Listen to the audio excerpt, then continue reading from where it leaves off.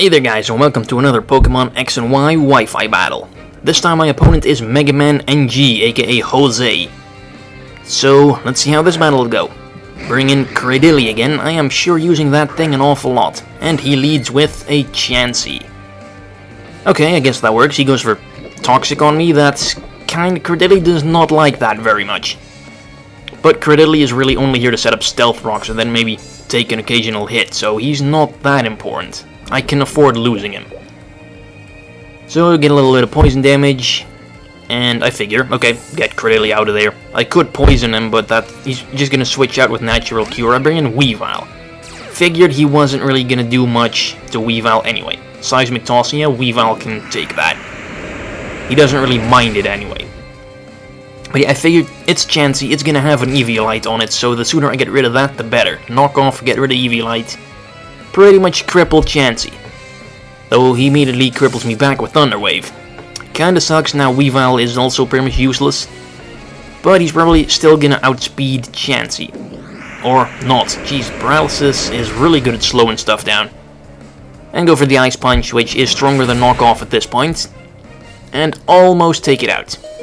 If only I had Icicle Crash, but sadly Icicle Crash and Knockoff are incompatible with each other.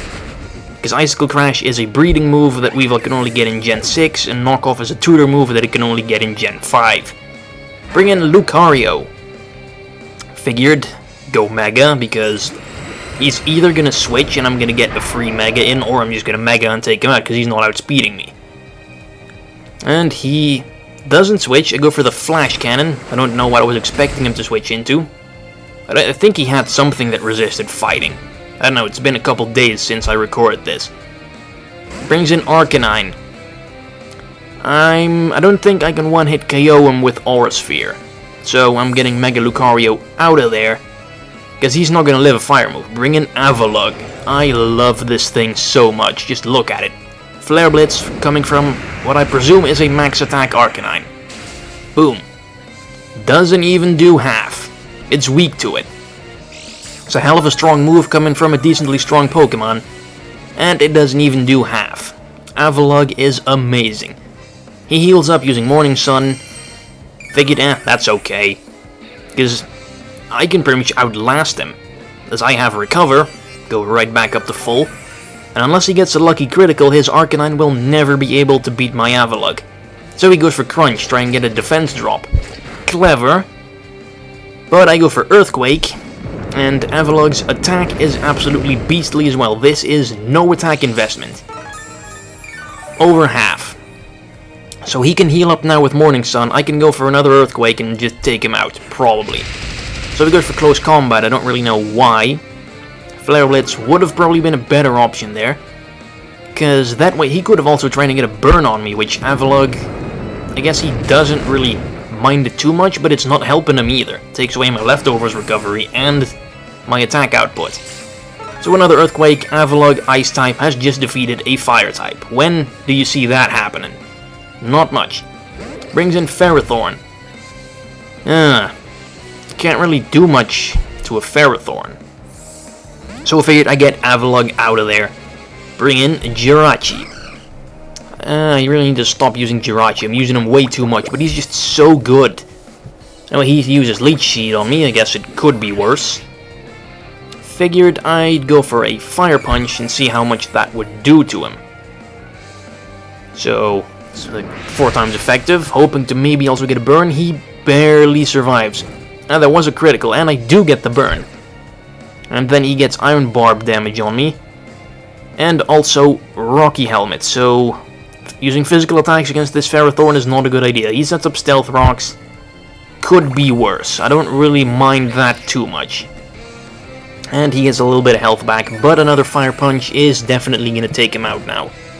Especially because the burn pretty much meditates the Leech Seed. But he cleverly switches it out. So brings in a Greninja. Boy, do I hate fighting Greninjas. I'm gonna go for Fire Punch because it's a choice. Scarf Jirachi, don't have a choice. Gets a little bit of health back from the Leech Seed. No burn on the Fire Punch. It wouldn't have been that helpful, but it could have at least added a little bit of damage. Switch out Jirachi because I'm locked into Fire Punch. Bring in Cradily. Maybe he's gonna go for a water move, not likely. He's probably gonna go for like, yeah, Dark Pulse. Protean. That ability is way too good.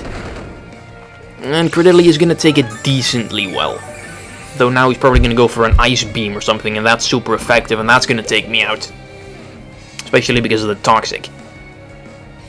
So, somehow he goes for Dark Pulse again. Is this a choice, Greninja? Don't think so. Make Giga Drain. Shame he's not a Water and Dark type anymore. It would have been a lot more helpful then. But whatever. It probably won't help me survive another Dark Pulse, but I guess it's all damage. Got a little bit of Toxic.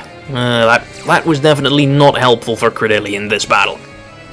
He goes for Ice Beam, as I expected, so he's not choiced. He's not getting any recoil either, so he's, he doesn't have a Life Orb. I wonder what he does have then. An Expert Belt or something, or uh, Wise Glasses? I don't know.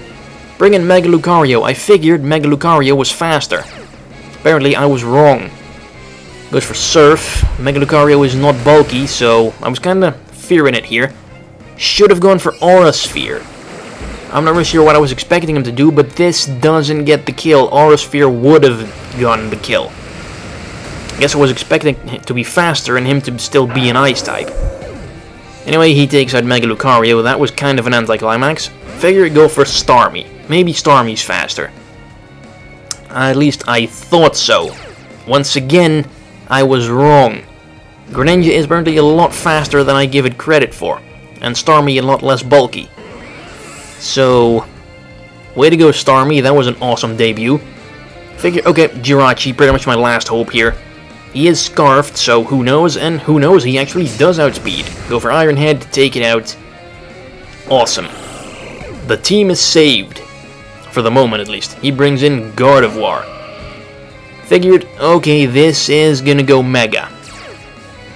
Trace the Serene Grace, which will probably get replaced by Pixelate anyway.